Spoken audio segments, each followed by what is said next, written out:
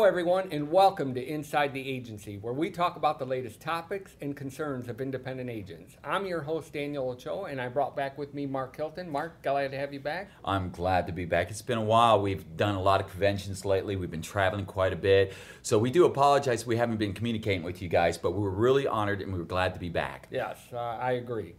Uh, today we're going to talk about workflows, Mark. Uh, the importance of workflows, why agencies should implement that in their uh, in their offices. Uh, Mark, can you tell us why workflows are important and what is a workflow, Mark? Because uh, I'm shocked that there are a lot of agents that don't even know what a workflow is. You're absolutely right. The essential, what the workflow really does is it helps minimizes uh, things from slipping through the cracks. It is an automated process that begins to allocate projects and tasks to your agents to immediately follow up on. And so this way, you're able to stay focused and make sure nothing goes through or causes know exposures. Good. Uh, let me give you an example of what a workflow is. Uh, and you can agree with me or disagree uh, if you want, Mark. But uh, a perfect example is there are insurance companies out there, like homeowners insurance companies, where when an agent writes a policy, the agent is required to go to that home, take a picture of the outside uh, of the front and the mm-hmm. back of the home. Yeah. Okay, so what happens is a lot of agents they'll write the policy and there's someone in the office that knows every time they write a homeowner's policy that he needs to go out and take pictures. So somebody writes a homeowner's policy and the person who is supposed to take the pictures never knew that the homeowner's policy was written. Days go by, weeks go by. Now the insurance company is threatening to cancel that policy because they haven't received pictures.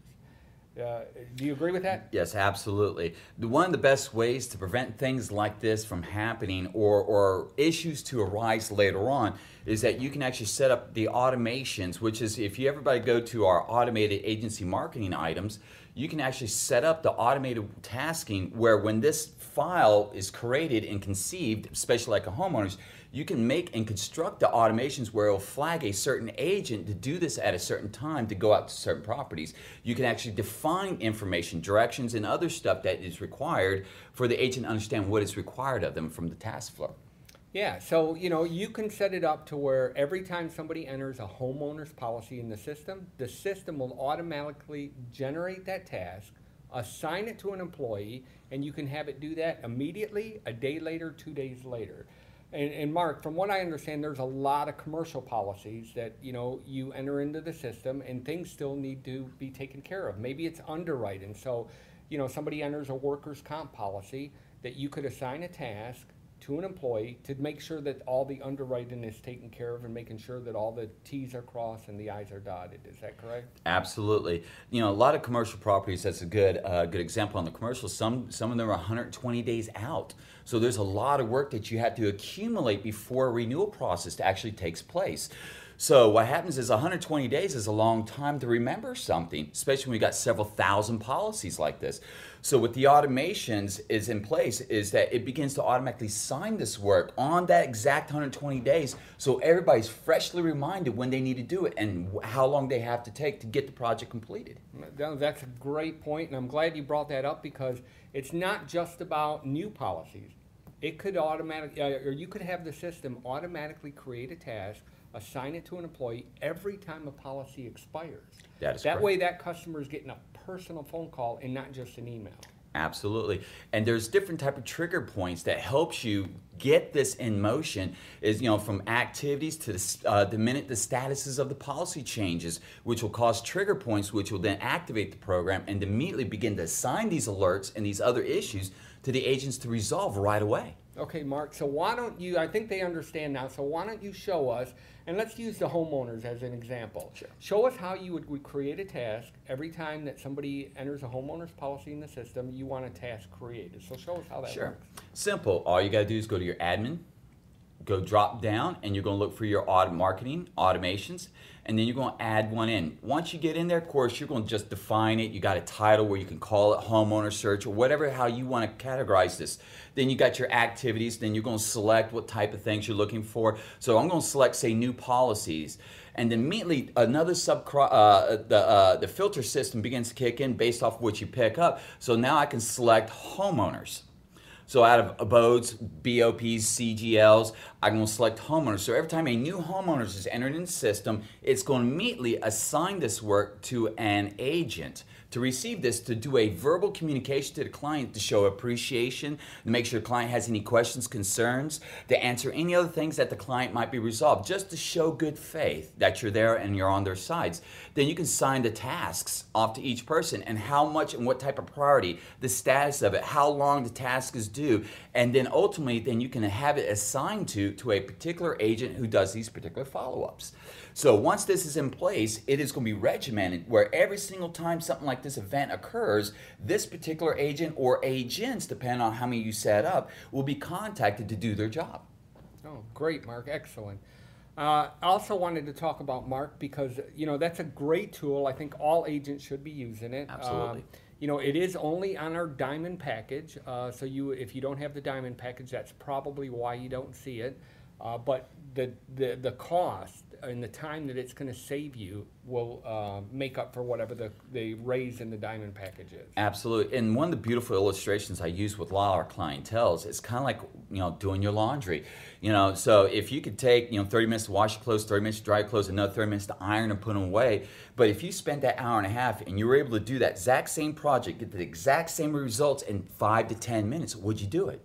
Well, absolutely. It's a no-brainer. People say all day long. The question is why? Well, simple. It frees me up to do other things that are very important that I got to take care of that day. But with the automations in place, it helps maximizes your time speed things up and makes it more efficient. People become more accountable so nothing slips through the cracks. So this way things get done in a timely fashion. Okay. Now, Mark, uh, I'm sure there's a lot of agents who are watching this that have a concern. Okay, what if these tasks are being created, they're being assigned to my employees, but they're just deleting them or they're not following up with them? How do you prevent that from happening and how do you make sure that your employees are taking care of the tasks? Uh, it's one of the beautiful things about Agency Matrix. There's a way that you can actually track and you can keep uh, keep your workflow monitored. If you have, if you go to your home page, you, at the very bottom left side, you're going to have what's called your tasks, your open tasks. There's a section there for an expand task view, which will give you the actual breakdown of all the work and all the automations that have been assigned to particular offices, particular agents, or particular groups in which you have it. We have a filter system too as well. So if you click on the filters, it gives you a criteria in which you can now pull up, say, everybody who's been assigned your renewals to make sure they're doing the renewal stuff, everything from quotes and all the other from claims issues, underwriting. So you can go by the dates that showed by their close if somebody deleted them out of the system like that. You can choose it by the customer's office in which they're allocated to, priorities, and then types of policies such as renewal lists, your cancellations, underwriting, uh, uh, and, and much, much more. So you can actually track this, filter it out, and only pull up. So you might have, let's say, a hundred different workflows going on at any given time through all your branches and your and your agents, and even more than that. So there's times where you just want to see only one aspect of your company, so you can just filter this out and look at all the people who just worked on the renewals just to make sure they're doing their job and that the people are being contacted. It is a beautiful tool to help maximize your usage of your time and the work in which you allocate to people. And as an agency owner yourself, Daniel, and I've been an agency owner myself, is that time is money to us. And when I spend money, I want to make sure my employees and my staff are doing the best for my clientele for the investment which I put in there. And the workflow is a perfect way to manage this. Yeah, I like what you said, Mark. It is a beautiful tool that all agents should be using. It's almost like having a part-time employee in your office, making sure that everybody's taking care of their things that they're supposed to be taking care of. Absolutely, absolutely. And you know, most people, you remember in the old days where you had the different type of phones where you had to type in, you know, before you had the smartphone touchscreen technology. But once you transition over and you begin to use that touchscreen technology and that new smartphones, you begin to look at your life on you, how, how did I make it this far without it? Well, same thing with the workflows and the management system, the automations. Once you begin to implement this in your agency and your company and you're utilizing this, you're going to go back and says, I, I can't believe I made it this far without it because it's going to help streamline, make you money and save you money and, and help minimize all those E&O exposures and nasty clients when they say, well, John never called me. And you know, if you don't have the diamond package now and you're thinking about upgrading, you can call our office We have a couple of trainers that will uh, train you through all the different options that you get on the Diamond package because it's not just the workflows. You get a lot of other features uh, on the Diamond package. And we'll sit down with you. We'll spend an hour, hour and a half with you. We'll teach you all the tools that we have to run your uh, office more efficiently. So it's well worth the money. So, like I said, if you uh, are thinking about upgrading, just call our office, talk to your salesperson. We'll set up an appointment for a trainer to call you and go over all these features with you. Uh, Mark, can you think of anything else? No, that's basically about it. Okay.